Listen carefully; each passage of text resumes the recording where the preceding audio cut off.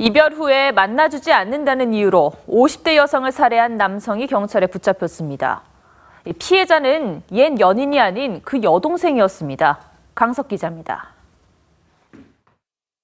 55살 김모 씨가 빠른 걸음으로 아파트 단지를 걸어갑니다. 1시간 뒤 유유히 아파트를 빠져나갑니다. 55살 여성 선모 씨를 둔기로 때려 살해한 직후입니다. 시 씨는 동료들이 연락이 안 된다고 신고해 하루 뒤 발견됐습니다. 목과 양 손발이 스카프와 운동화 끈에 묶여 있고 얼굴에는 맞은 흔적이 선명했습니다.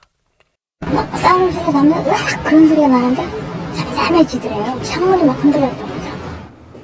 경찰 조사 결과 피해자 선 씨는 김 씨의 옛 동거녀의 여동생이었습니다.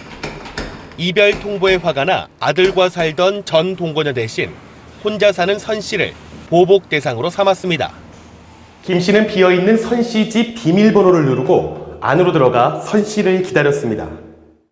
동생을 통해서 이제 만나려고 했겠죠. 전화를 하고 있는데 안 만나주고 또 전화도 안 받고 본인 말을 무시했다라는데 김 씨는 범행 직후 달아났다가 경기도 여주의 한 다방에서 체포됐습니다. 경찰은 살인 혐의로 구속 영장을 신청할 예정입니다. TV조선 강석입니다.